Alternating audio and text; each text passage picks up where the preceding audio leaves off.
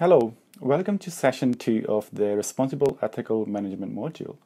This week we are going to focus on the notion of responsibility for corporation, present the stakeholder theory of the firm, outline the concept of corporate accountability, and critically examine the notion of corporate citizenship.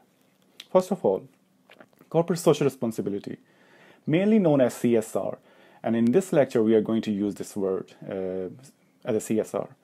CSR is when corporation goes beyond making money and engage in actions that result in social good beyond the interest of the corporation, which is required by the law.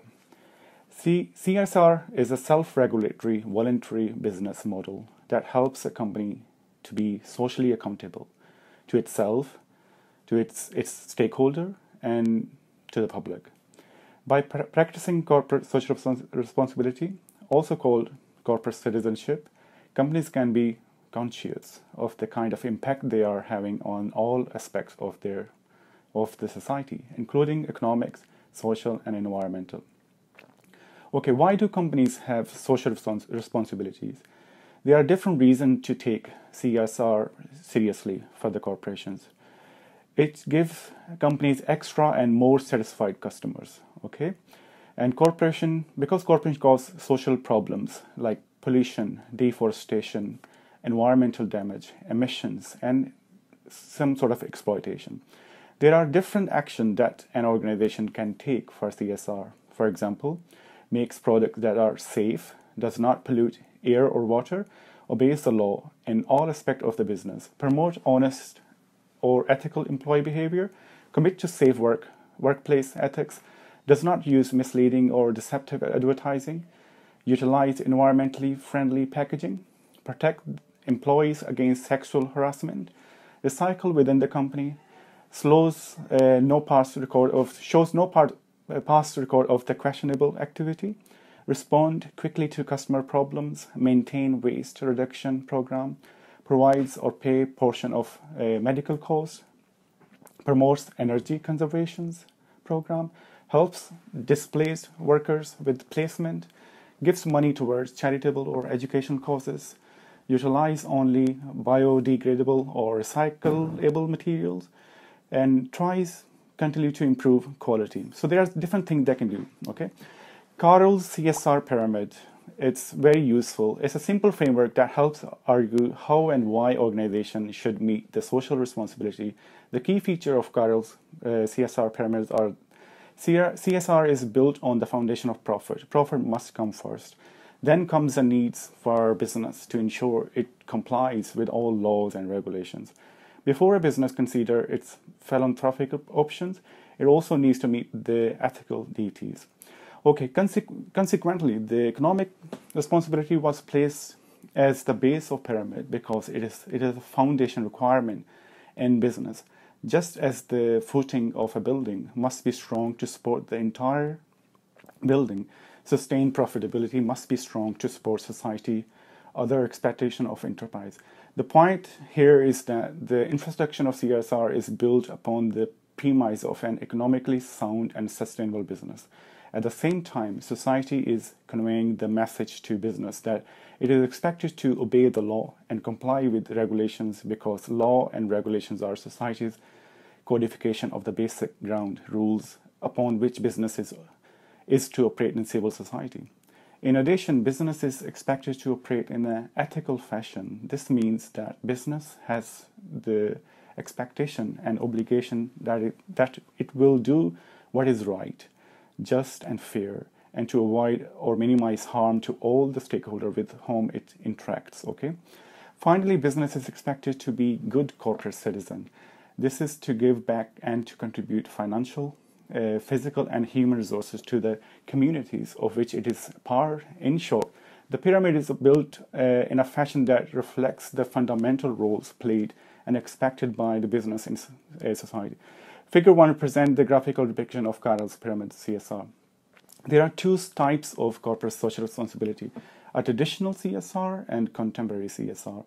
In a traditional CSR, a company generates its profit and creates value with, without much consideration for wider societal consideration beyond shareholders and at times customers. In a traditional CSR, they will raise funds and make donation. However, it has little to do with how they function as a company. In a contemporary CSR, they view responsible behavior as a means to generate profit while living up to society's expectations. CSR is a part of their uh, daily business. Few more CSR examples are supporting charity and philanthropy in initiative, going beyond legal requirements in adopting progressive human resource management program, not, not testing product on animals, recycling, uh, preventing pollution. There are different benefits of CSR that include responsible businesses attract more investors, reduce their risk, and address stakeholder concerns. Creating a better environment while making a profit. Most consumers prefer to buy product from companies that are that use CSR. Another important concept is the stakeholder theory. Is a fund, fundamental to satisfy stakeholders' needs. There is much to be taken into consideration as an organization while focusing to meet the stakeholders' satisfaction without you know satisfying to some degree the needs of other stakeholders. It turned out attention to the consideration beyond direct profit maximizes. In, in other words, even when an organization seeks to serve its shareholder as a primary concern, its success in doing so is likely to be affected by other uh, stakeholders. A company's stakeholders are those groups without whose support the organization would cease to exist. These groups would include customers, employees, suppliers, political action uh, groups, environmental groups, local communities, the media, financial institutions, governmental groups, and more. This view paints the corporate environment as an ecosystem of related groups, all of whom needs to be considered and satisfied to keep the company healthy and successful in the long term. A healthy company never loses sight of everyone involved in its success. Stakeholder theory says that if it treats the employees badly, a company will eventually fail if it forces the, its project on community to detrimental effects, the same would likely happen. A company can't ignore any of its stakeholders and truly succeed. Dr. Freeman said in an interview, there might be short-term profit, but as a stakeholder become dissatisfied and feel let down, the company cannot survive. Importance uh, means the priority given to satisfy stakeholders' needs and interest from being involved in the matters of uh, business and in the company itself in order to in, in order for it to be successful. Secondly, influence and power of a stakeholder can affect the success or failure of any initiative. Corporate accountability is another very important concept. For a company to be socially responsible, it first needs to be accountable to itself and its shareholder.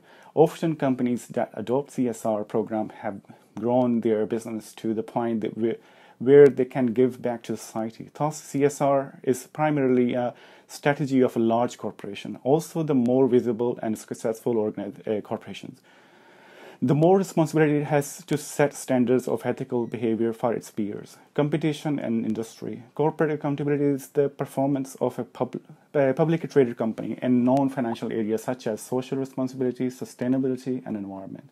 Performance.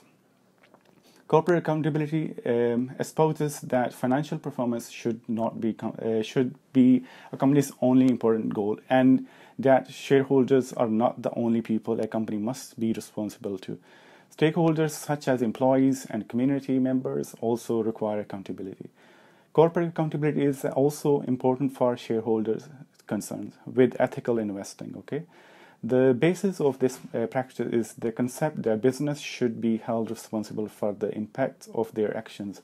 Governments do not have broad authority to regulate corporations uh, except when specific leg- legislation has been passed. Historically, passing such legislation has required a, a cons- concerted public effort to convince politicians to regulate particular pra- uh, practices. Okay, transparency is also morally important because it, it enhances an attitude of honesty, openness, and commitment to truth uh, that is implicit in thinking on CSR. Thus, it has been argued that transparency enhances the sense of accountability and responsibility. Finally, we will look. Uh, will now focus on the corporate uh, citizenship uh, concept. A company's role in or responsibility towards society. That's what it means Corporate citizenship is a recognition that a business, corp- corporation, or business-like organization has social, cultural, and environmental responsibility to the community in which it seeks a license to operate, as well as economic and financial ones uh, to its stakeholders or immediate, uh, immediate stakeholders. Corporate citizenship involves an organization coming to terms with the needs for often radical internal and external changes in order to better meet, it, meet its responsibility to all of its stakeholders, direct or indirect. In order to establish and maintain sustained success for the organization, and as a result of the success, to achieve long term sustained success for the community at large, companies go through increasing stages during the process of developing corporate citizenship. Corporate citizenship involves the social responsibility of business and the extent to which they meet legal, ethical, and economic responsibility as established by the shareholders. Corporate citizenship is growing increasingly important as a both individual and institutional investor begin to seek out companies that have socially responsible orientation, such as their environmental, social, and governance practices. Some benefits of corporate citizenship are improved employee relations, improved recruitment, uh, retention, morale, loyalty, improved customer uh, relationships, increases customer loyalty, uh, improved business performance, positively impact on the financial uh, aspect of the business and it increases uh, competitive advantage. Enhanced marketing efforts helps create a positive company image different levels and views of corporate citizenship uh, different companies might fall into these views as they progress with corporate citizenship. For example a small company might just be at their limited view stage but as they grow, they might more further uh, the view about corporate citizenship. Time and experience does help organizations to uh, implement a better view of corporate citizenship. The table shows the sort of like activities and focus in the, each view. The best view is the extended view. It is evident that corporate citizenship may be the result of uh, either a voluntary self-interest driven corporate initiative or for a compulsory public uh, pressure driven corporate uh, reaction. Either way, in, it, it, places having set out this concept of corporate citizenship and explored some of its implication in terms of accountability and transparency, we need to consider whether the concept of corporate citizenship really represent a useful new way of framing business ethics or at least whether it offers us anything different or better compared with the CSR, stakeholder theory and other concepts Corporate citizenship does seem to add something significant that helps us frame business ethics in a new ways. The extended view of uh, corporate citizenship helps us to see better the political role of the corporation and clarifies the demand for corporate accountability. That is such a prominent feature of contemporary business ethics thinking. By providing us with a way of understanding business in relation to common rights or citizenship across culture. Corporate citizenship, in this sense, also helps uh, us to better understand some of the challenges presented by the context of globalization. These rights of citizenship, which includes rights to equality, participation, and a safe and clean environment, also have strong links to the goals of business ethics uh, of sustainability. Finally, although the notion of CSR has been widely adopted all over the world, the extended view of corporate citizenship provides us with a more critical perspective on the social role of business. Of course, one downside to the extended view of uh, corporate citizenship is that it is both a new and not yet widely accepted within the mainstream discourse of business ethics. However, that, that is changing as it becomes increasingly apparent that the traditional concept of CSR and stakeholder theory may not be adequate to deal with broad changes in the roles of business, government, and the civil society. So I hope you have sort of uh, got some idea about the three main uh, concepts of the CSR, stakeholder, and corporate citizenship.